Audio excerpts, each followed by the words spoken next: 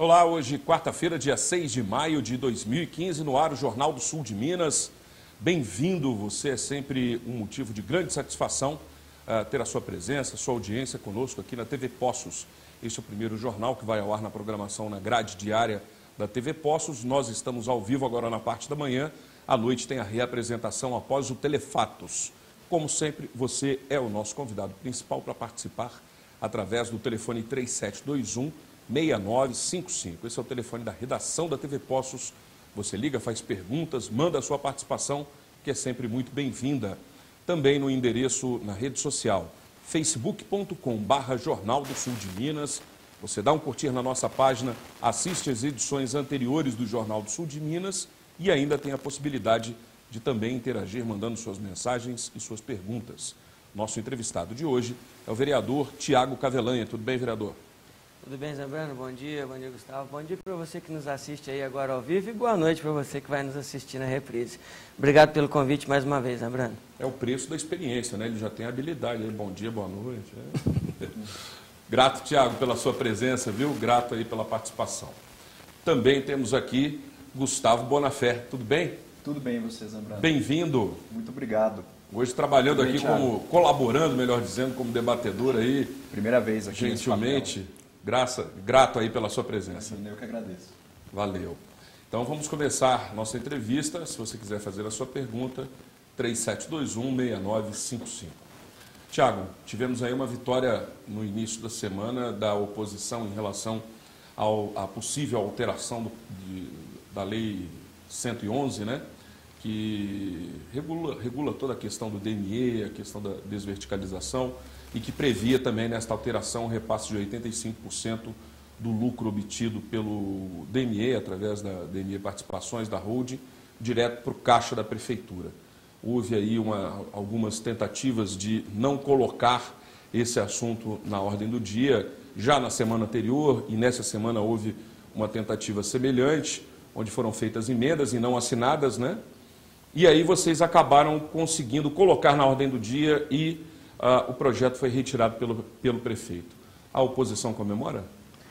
Eu acho que não só a oposição, você disse que é uma vitória da oposição, mas eu enxergo isso como uma, uma, uma vitória do DME e mais ainda, uma vitória da cidade, da uma cidade vitória inteira. de Poços de Caldas. É sem dúvida nenhuma que esse seria o caminho aí para falência, para o fechamento, por que não dizer assim, daquele departamento. Não é possível você concordar que uma empresa, seja ela privada ou pública, sobreviva com apenas 15% do que lucra. Então, era fatal que caso esse processo passasse, né, caso esse processado fosse aprovado por aquela casa, o DME sofreria aí duras penas na sua saúde financeira. Então é uma vitória, sim. A oposição lutou muito, foi firme, trabalhou politicamente dentro da Câmara é, e conseguiu. Não da forma como queria, porque nós queríamos era derrubar no voto, ali, derrubar no plenário, mostrar realmente quem era a favor da cidade e quem era a favor daquele departamento. Mas, de qualquer forma, o prefeito vendo ali que iria perder, ele se antecipou e retirou o processado, chegando no mesmo objetivo que a gente buscava, que era o fim dessa discussão, que foi triste, viu, Zambrano, na Câmara. Foi um processado pesado, aonde o Executivo, a turma da situação, jogou pesado com alguns vereadores, pressionando, fazendo um jogo político bastante nervoso ali, para ver se conseguia mudar o voto de alguns vereadores e o, e o projeto fosse aprovado. Graças a Deus o prefeito teve consciência, foi coerente com o que a cidade pede, com o que os funcionários do DME pedem e retirou o projeto. É, houve também, em relação a isso, uma pressão em determinados segmentos da sociedade, né? até mesmo algumas instituições assistenciais, que algumas delas assinaram documentos, uh, mostrando-se favoráveis, outras até mesmo uh, foram, uh, vamos dizer assim, exatamente, foi falado isso, né, que se o projeto fosse aprovado, haveria mais dinheiro para repasse para instituições assistenciais, haveria mais dinheiro para repasse para o Hospital da Santa Casa, por exemplo. E agora, se então não houve essa transformação, a Prefeitura condena então essas instituições e até mesmo o hospital a ficar sem o recurso, é isso? Zambrano, eu achei uma forma até deselegante do executivo trabalhar essa questão, envolvendo aí as associações, as entidades, porque essas associações e entidades sempre receberam repasse do poder público e nunca foi preciso aumentar o, o, o recurso do DME para que elas fossem assistidas. A Santa Casa sempre recebeu, as, as associações, as entidades sempre foram subsidiadas pelo poder público, sem precisar de passar por tudo isso. É, agora eu me coloco aí na situação do prefeito e fico pensando, o que, que ele vai responder para essas instituições, já que ele retirou esse processado? Fez-se a promessa, fez-se ali ah, aquele oba-oba, aquela conversa toda, vinculou-se essa ajuda à aprovação do projeto, que hoje não existe mais. Então eu fico pensando, como que o prefeito vai lidar com essas associações e como que ele vai cumprir o compromisso que ele já assumiu com todas. Eu tenho, tenho uma pergunta para o Tiago. Então faça. É, sim, senhor. É, eu escuto falar bastante da questão do decreto, né? que agora pode, é, essa medida do aumento do, do repasse, ela pode vir por meio de decreto. Como cidadão, eu queria entender como que seria esse processo e como que ficaria a relação da Câmara é, junto à Prefeitura caso viesse por, por, por esse meio é, a aprovação da, dessa, desse plano. Não é inédito, né? Não é inédito. Isso já aconteceu, isso já foi é, provado que, que é a forma errônea de fazer esse repasse. Inclusive, quando foi feito, ele é investigado até hoje pelo Ministério Público, isso um tem processo, processo isso foi é, é, é para a Justiça e ainda não, não, não, finalizou, ainda vai dar conversa ainda sobre isso. E há um impasse, né, Tiago, em relação às contas anteriores também, da administração anterior, exatamente por conta disso também. Né? Sem dúvida. Então, é, quando é feito por decreto, o prefeito, como, vamos dizer assim, o único acionista do departamento, ele faz uma redução de capital, já que esse capital erroneamente não está fixado na lei, é projeto de todos os vereadores que corrijam isso, que fixe esse capital na lei, para que toda vez que ele queira mexer nessa, nesse capital, reduzir esse capital, a Câmara precisa ser consultada e, obviamente, aprove ou não. Então, hoje ele pode fazer isso por decreto, porém, ele assume um risco muito grande de ser aí julgado, de ser aí é, é, é, é, avaliado pelo Ministério Público, pois a outra vez que já fizeram dessa forma, a outra administração já fez dessa forma, gerou-se aí um processo criminal em cima do, do chefe do executivo da época. É, vamos falar então agora em relação a essa possibilidade, é, havendo essa redução de capital, ela hoje, do jeito que está essa lei, então não passa pela Câmara. O próprio executivo faz um decreto e pronto.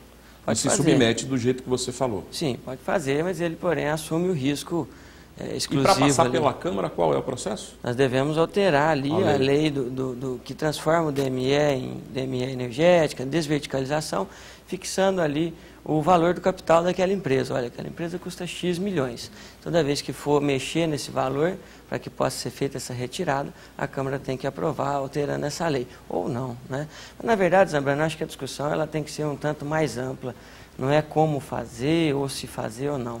É, é triste nós termos e sabermos que a nossa prefeitura, com um orçamento aí de mais de 500 milhões de reais, seja uma eterna dependente e pior, está se tornando cada vez mais dependente do DME.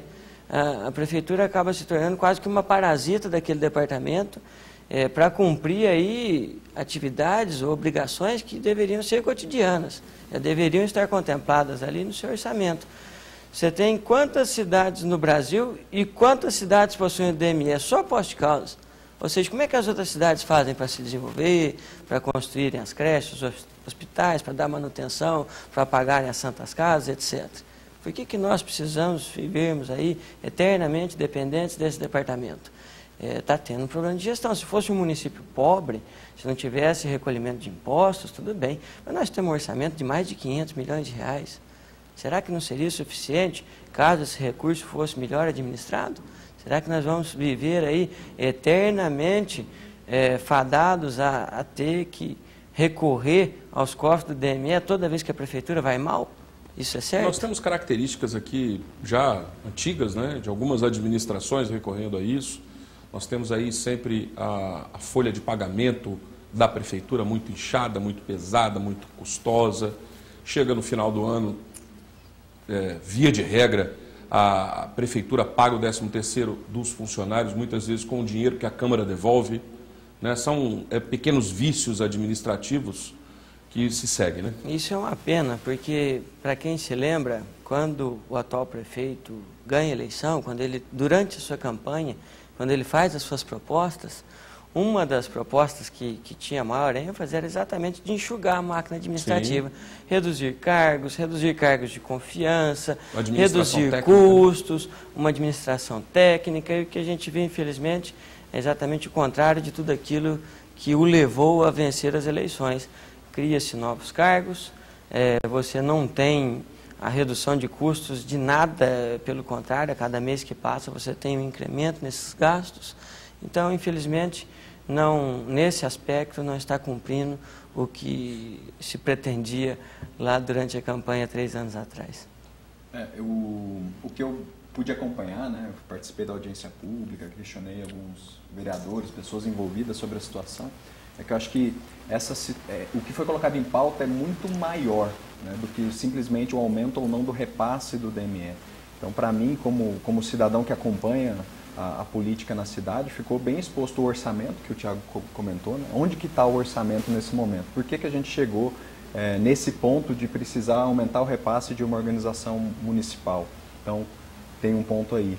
A outra, a, a grande dependência não só da prefeitura em cima de uma empresa, mas das entidades sociais em cima da prefeitura. Né? Será que não tem outros modelos, e eu, e eu acompanho em outras cidades, existem outros modelos de ajudar essas instituições, não sobrecarregar a prefeitura, para que essa não sobrecarregue ah, o DME, por exemplo. Né? Então, a questão da transparência, como isso foi lidado, se as partes foram ouvidas antes da audiência pública. Né? Na audiência pública, todo mundo teve espaço, mas antes disso, porque lá na audiência pública foi bem vistoso a, a energia, né? uma energia às vezes até um pouco destrutiva, assim, de, de em colocar os argumentos. Então, a minha pergunta assim para o Tiago é o que, que aconteceu nesse meio tempo da aprovação do orçamento né, e o que, que deixou de ser feito em, em detalhes para o não cumprimento e para chegarmos a essa situação. Gustavo, é complicado para a gente fazer afirmações em cima das contas do executivo. Mas nós podemos dizer, sem medo de errar, que há um certo descontrole, há uma certa desorganização. Perdeu-se a gestão financeira, orçamentária do município. É, eu costumo dizer lá na Câmara que no início de março nós já estávamos aprovando créditos suplementares de um orçamento que começou a ser aplicado em janeiro.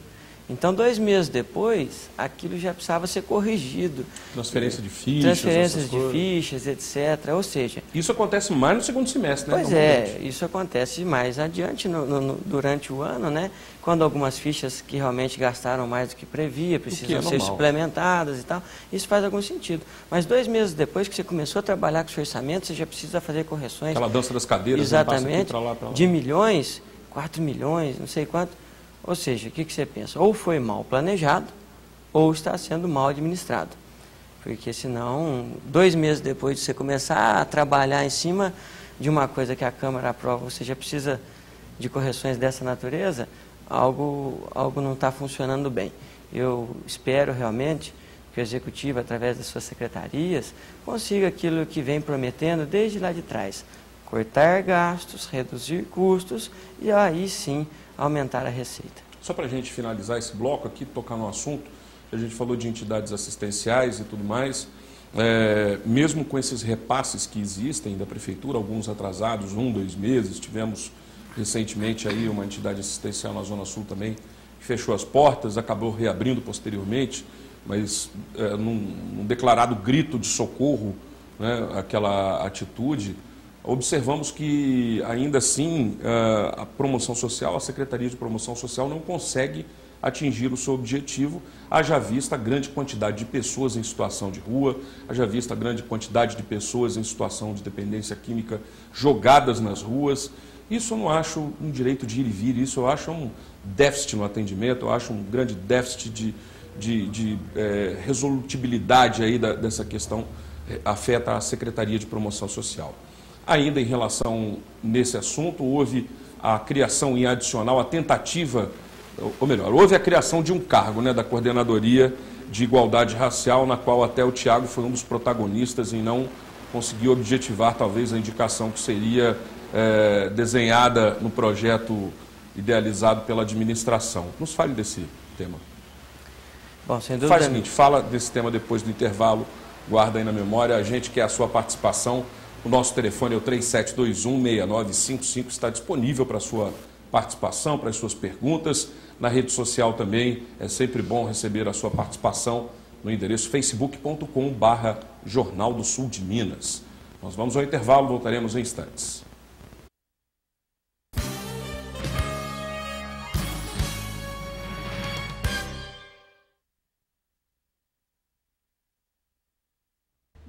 À Central de Certidões Certificação Digital. A você que já é nosso cliente, muito obrigada. E a você que ainda não é e está precisando de certificado digital, venha para a Central de Certidões. Aqui nós temos o melhor preço e o melhor atendimento de postos e região. Venha para a Central de Certidões. Nossa equipe é séria e super especializada para melhor atendê-lo. Atendemos com agilidade e segurança. Central de Certidões, o lugar do seu certificado digital. O meu dente era torto, podia comer nada, doía. Era complicado, né? Sair pra uma festa, que vergonha, sorrir. Eu vim na clínica, fiz os exames. No dia seguinte, meus dentes já tudo pronto. Hoje eu posso sorrir, conversar tranquilamente. Muito bom. Eu imaginava que ia ficar bom, mas não ficar tão bom ficou, né? E minha vida mudou muito. Implar, referência em reconstrução do sorriso. Moderna, clássica ou casual. Seja qual for o estilo da sua mãe, o presente perfeito você encontra no Dia das Mães Seller. Blusas a partir de R$ 29,99. Cardigans a partir de R$ 49,99. Vestidos a partir de R$ 59,99. Tudo em 10 vezes sem juros nos cartões de crédito. Porque sua mãe merece o melhor. E o melhor está na Seller. Dia das Mães é na Seller. Aproveite! Festa infantil é com o Reino Mágico. Lindas decorações com personagens originais, vários temas disponíveis, mesas provençais e enfeites com balões. Leve toda a magia do Reino Mágico para sua casa, escola ou onde for sua festa. Conheça a loja de decorações e o salão de festas do Reino Mágico. Rua Francisco Tramonte 96, no Jardim Centenário. 3712-5744. A Pamafer mudou sua estrutura para melhor atender seus clientes. Pamafer, há mais de 28 anos distribuindo aço para construção. Não perca tempo em sua obra. A Pamafer entrega as ferragens armadas ou cortada e dobrada sob medida, gerando uma economia de até 20%. Traga seu projeto. Fazemos orçamento sem compromisso. A Pamafer ainda tem mais: treliças, pregos, arames, telas para alambrado, gabião, varetas galvanizadas para estufa de morango, entre outros. Pamafer, no Trevo do Parque Pinheiros, Poços de Caldas.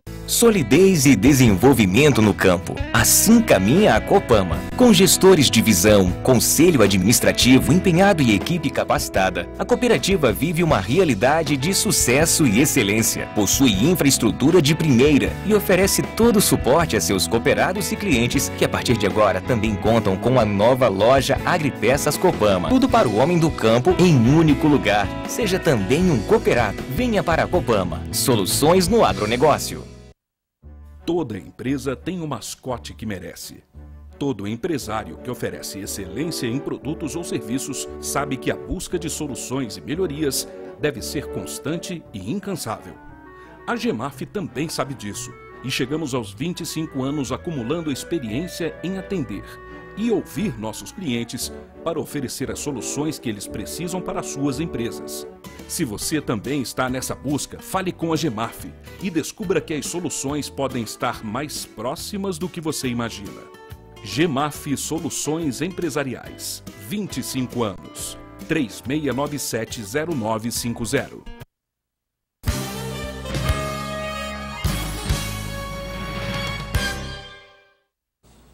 Estamos de volta com o Jornal do Sul de Minas, hoje entrevistando o vereador Tiago Cavelanha, junto com você, através do nosso telefone. Você pode participar fazendo as suas perguntas. Ligue 3721 6955. 3721 6955. Ficou uma pergunta no bloco anterior, responda, por favor. Lembrando, nós estávamos falando sobre a Secretaria de Promoção Social. Exato. Sem dúvida, se não for a pior pasta da Prefeitura, é uma das piores. É, o que a gente observa pelas ruas do nosso município é o que você disse, moradores de rua, mendigos, pedintes, pessoas que ocupam um espaço que era para ser ali do cidadão de bem e fazem das ruas a sua moradia, a sua casa, ou seja, não vivem em posse de causas com a dignidade que qualquer ser humano merece. É, desculpa, só fazer uma observação, vereador, é porque tem muita gente em situação de dependência química nas ruas. Pois é. Muitas vezes as pessoas, os familiares não sabem como tratar isso. Os familiares não têm obrigação de saber como tratar. O doente também, o próprio dependente químico, não tem culpa, não tem obrigação de saber o que fazer. Ele tem que pedir ajuda. Mas até ele ter a consciência que precisa pedir ajuda, o poder público, dentro dessa premissa da igualdade, o direito de ir e vir, né, o atendimento aos pobres, né, todas essas questões relacionadas aí aos trabalhadores e tudo, atender essa pessoa, coisa que não está sendo feita. Quer dizer, é onde eu ia chegar com a minha resposta.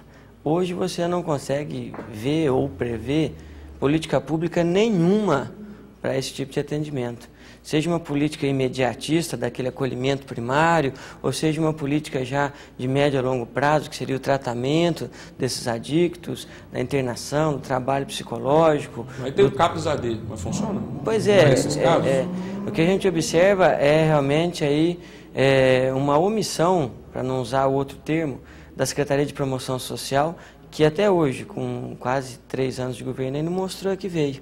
Não mostrou a que veio as políticas públicas de assistência e promoção social no município são praticamente nulas. E é óbvio que a cidade cresce e esse problema também cresce junto, aumenta e nada está sendo planejado e nada está sendo projetado para que isso possa ser aí conduzido ou administrado da melhor forma possível. Dessa pergunta você pulou para o cargo da criação do cargo da, da coordenadoria da igualdade étnica e racial. Quando foi discutido esse tema, foi feita até de forma, no meu ponto de vista, injusta, a associação daqueles vereadores que eram contrários à criação do cargo com a questão de preconceito, com a questão de, de racismo e etc. Uma infelicidade de quem estava tentando é, tratar o assunto dessa forma.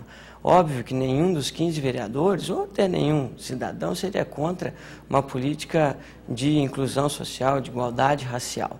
O que nós somos contra é a prefeitura criar mais cargos para gastar aí mais quase 50 mil reais por ano. Isso nós somos contra. Eu defendo que igualdade racial, que inclusão social faz-se no dia a dia, dentro das salas de aula, nas escolas públicas, dentro dessas associações que, que trazem ali as nossas crianças, os nossos jovens e atendem a todos, não importa se é negro, se é branco, se é jovem, se é velho, se é rico, se é pobre, ali dentro desse serviço, sim, nós temos ali uma inclusão social. E não vai ser a criação de um cargo a mais é que vai garantir a, a efetividade dessa política. Porém, para mostrar ali que nós não éramos contra a política, mas sim contra o gasto, nós propusemos uma emenda transformando a criação desse novo cargo em um cargo restrito, ou seja, o ocupante desse cargo já deve ser obrigatoriamente servidor de carreira da prefeitura, evitando que o executivo gaste assim mais um salário de 3 mil reais por mês com uma outra pessoa que sei lá eu quem seria e da onde viria para ocupar esse cargo. Então foi uma forma de mantermos a política como o executivo pretendia, porém é, reduzindo e evitando gastos. E foi aprovado, né? Inclusive, é, integrantes da situação votaram a favor, né? Foi aprovado. É, Para nossa surpresa, inclusive o líder do prefeito, não sei por se por concordar com as nossas ideias ou por ter ali é, pensado ou repensado na hora do voto, ele acabou votando a favor, favor e o processado foi aprovado por oito votos a seis. Vai, Gustavo. Essa, hoje, assim, eu estava lendo o jornal e eu vi um decreto né, que traz algumas priorizações e também alguns critérios para a questão de, de redução de, de, custos. Eu ainda não, não consegui ler inteiro para conseguir chegar aqui, mas eu acho que é um passo, mesmo que tardio, um passo para se olhar com calma, exatamente nesse movimento. Né? Qual que é a coerência é, que o poder público tem tido em em também tirar os seus custos para promover o desenvolvimento da cidade. Né? Então, não sei se o, o Tiago sabe de, desse decreto, se tem alguma conversa, e, mas é válido a gente estudar isso que acabou de sair também hoje, quentinho. É, eu não vi, eu ainda tenho que ler também. Você tem algum conhecimento disso? Gustavo, eu não vi ainda, você que comentou comigo agora antes do programa entrar ao ar, mas se for da forma como você me adiantou, que bom, parabéns para o prefeito. Ele deveria ter feito isso há dois anos atrás, mas como você disse, nunca é tarde. O caminho não tem muito segredo, infelizmente, é cortar na carne, reduzir custo, reduzir gastos, para que então o que se arrecada comece a fazer algum volume. Se é esse decreto caminha nesse sentido, cortando horas extras, cortando aí gastos com com servidores, gastos, não investimento, gastos com servidores, que bom, tomara que isso seja realmente é, eficaz, que seja efetivo, que aconteça de fato e não fique só num documento publicado no Diário Oficial. Um problema que está sendo alvo de muitas reclamações aí, falamos até na segunda-feira, a vereadora Zezé Escaciotti esteve aqui, falamos a respeito de economia e tudo mais, e agora com a sua presença também é, somos portadores, inclusive, dessas reclamações de moradores é, indignados aí com as condições da Avenida Venceslau Braz, né, com muitos buracos. Sabemos que a partir de um determinado ponto ela deixa de ser do município e passa a ser do DENIT. Né? Então é, é necessário que haja uma movimentação no sentido do, da própria prefeitura, a Câmara Municipal também solicitar é, essas operações para conserto ali, tapa-buraco, vamos dizer, alguma coisa mais efetiva. Pois é, a Câmara não pode se furtar em fazer o seu papel de cobrar.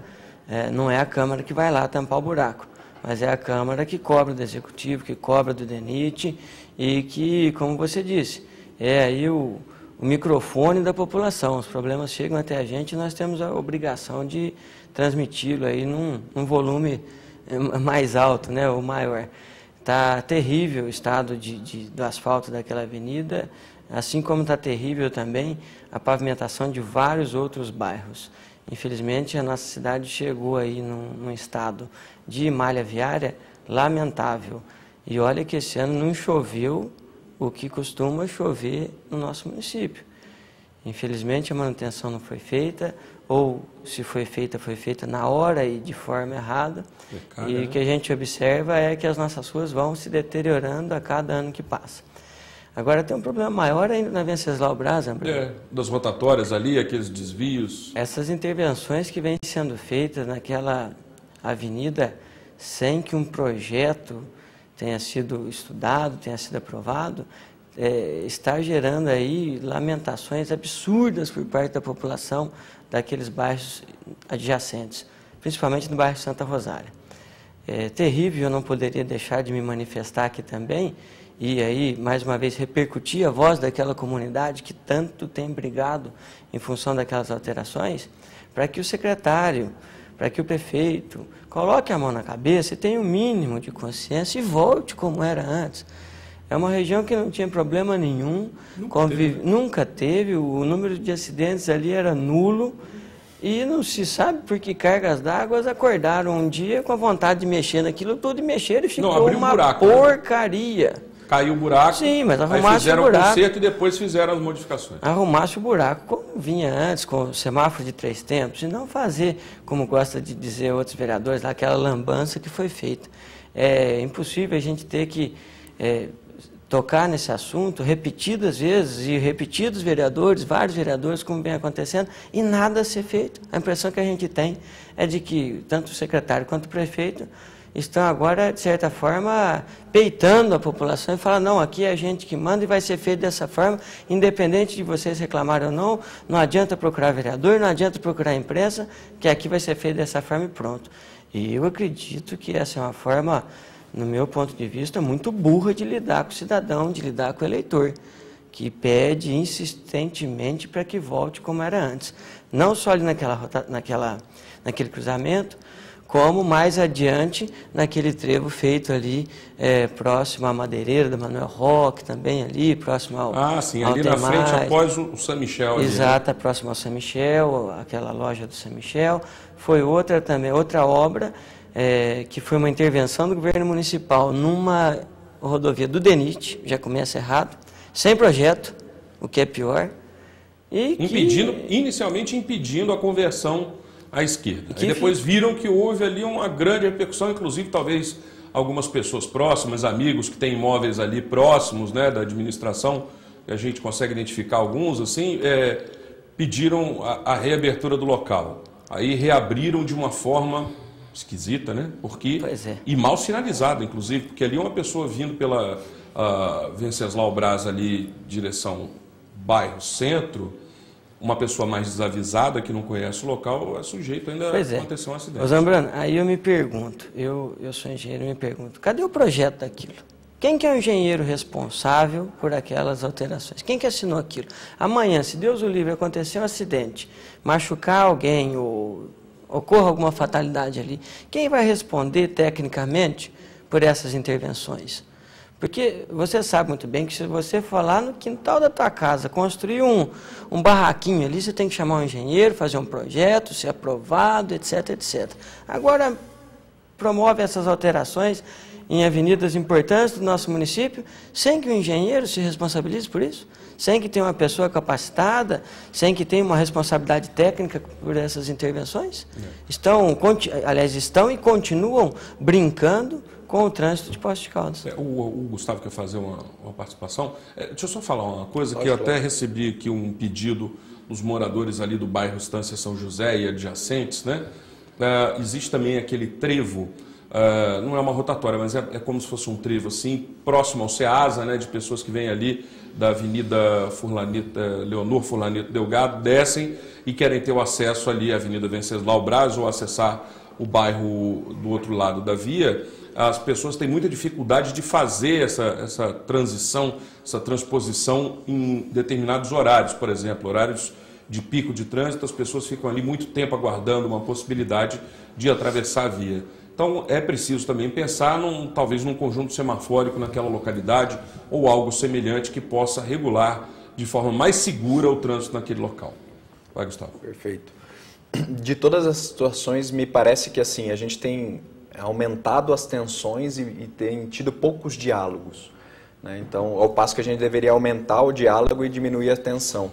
Queria saber do, do, do Tiago o que, que comportamentalmente, aí puxando um pouco para a minha área, é, a oposição espera da, é, dos governantes no sentido de, de, postura perante esses desafios, perante essas, essas questões que, que, que existe algum choque de ideias. Né? O que, que, é esperado em termos de postura é, da situação? Gustavo, exatamente isso que você falou, que haja mais diálogo e menos enfrentamento. É, e quero deixar claro aqui também que essa não é uma um hábito ou um posicionamento de todas as secretarias. Muitas secretarias da atual gestão são sim dadas ao diálogo, sim. mantêm um bom relacionamento com os vereadores, independente de ser situação ou oposição. Então, isso aí são casos de alguns secretários e algumas pastas da atual gestão. Eu falo, às vezes, de uma forma um pouco mais enérgica e passa a impressão de que eu estou falando de todos, né? Eu estou generalizando todos aqueles cargos de confiança. E não, tem muitos ali que reconhecem, sabem do cargo que ocupam e da estão importância. Desenvolvendo um bom trabalho. Estão desenvolvendo um bom trabalho. Não vou aqui mencionar nomes para não até não gerar aí desconforto entre o próprio time, mas que com, compreendem ali que esse diálogo estão ali para servir a cidade. Porém, outros não. Acredito que esses outros estão ali e pensam que são o dono da verdade. São mais revestidos de um orgulho. E, assim. Pode ser orgulho, pode ser estupidez, pode ser o adjetivo que você queira usar aí, mas sentam em cima de um de uma atitude, sentam em cima de uma ação que eles acreditam ser a melhor e se fecham para o diálogo. Esse fato mesmo da, da intervenção da Venceslau Braz, você quer mais diálogo do que está sendo proposto? Três, quatro, cinco vereadores procuraram aquela secretaria, não houve resposta. Os moradores procuraram, não houve resposta. Fizeram abaixo assinado com mais de mil assinaturas, não houve resposta. Foram à imprensa, chamaram a imprensa A, B, jornal, televisão, outra televisão, rádio, etc. Não houve resposta. Então, quer dialogar com quem? Diálogo para que a pessoa aceite o que está sendo imposto, não precisa ter diálogo. Ok, chegou a hora da gente fazer mais um intervalo. Então, como você viu, estamos entrevistando hoje o vereador Tiago Cavelanha. É uma boa oportunidade para você fazer uma pergunta, tirar aí alguma dúvida em relação à sua rua, ao seu bairro, algo que você vê acontecendo na cidade. Ligue agora, dá tempo de você participar ainda. 3721 6955 é o telefone da TV Poços. 3721 6955. Vamos ao intervalo, voltaremos em instantes.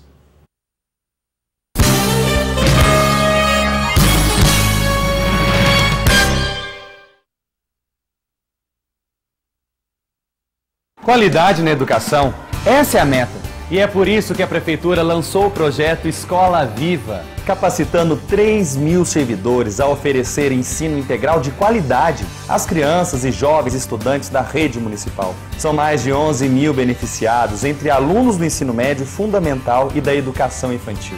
É um projeto democrático e participativo que desenvolve políticas públicas de formação do cidadão. Escola Viva, educação de qualidade.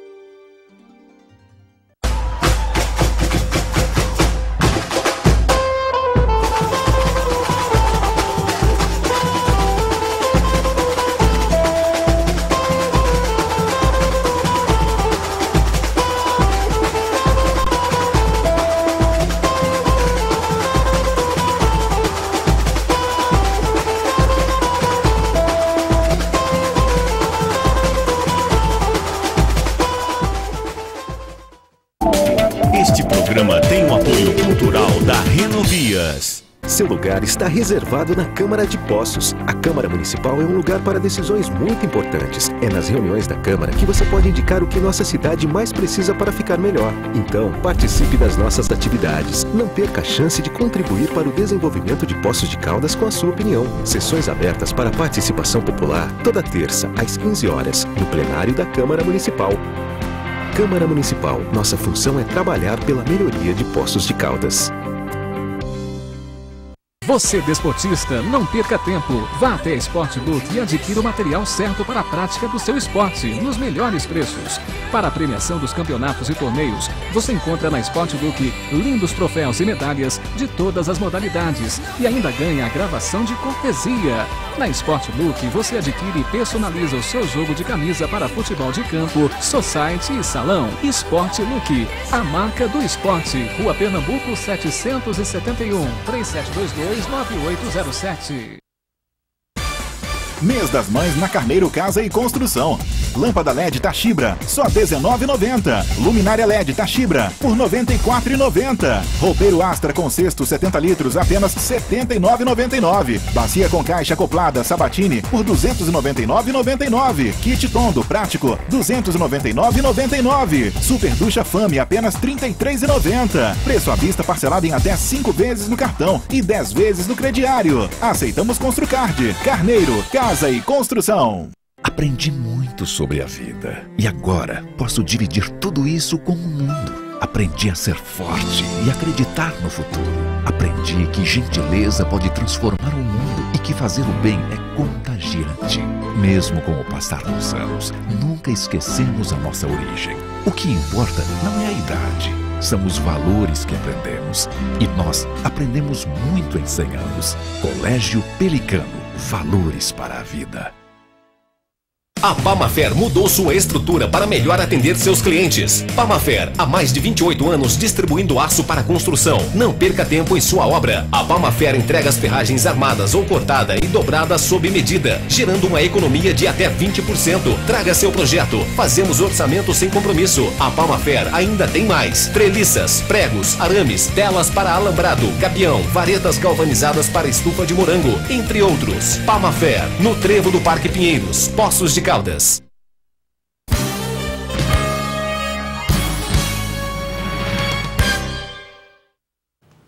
Tem algumas perguntas aqui, se você quiser fazer a sua, 3721-6955.